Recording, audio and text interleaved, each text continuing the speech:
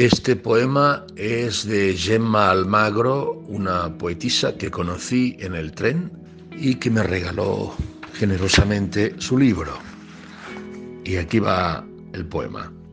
Voy a desearte que ames, que ames mucho y que en cada momento de amor claves tu mirada en la esencia del otro, de la otra. Voy a desearte que aceptes lo que sí y lo que no que no tengas prisa y que te permitas abrazar por las luces y las sombras que la vida quiera dedicarte.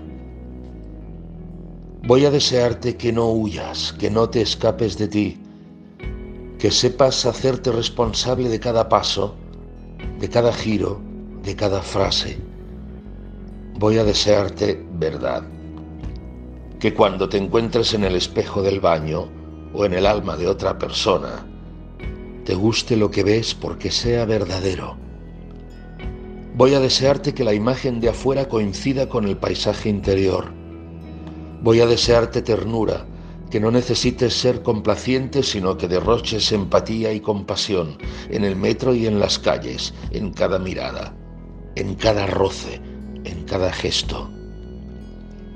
Voy a desearte, en fin, que la honestidad te arrope y que la autenticidad sea tu punto de partida. Eso voy a desearte. Y siendo así, ¿cuánto voy a desearte?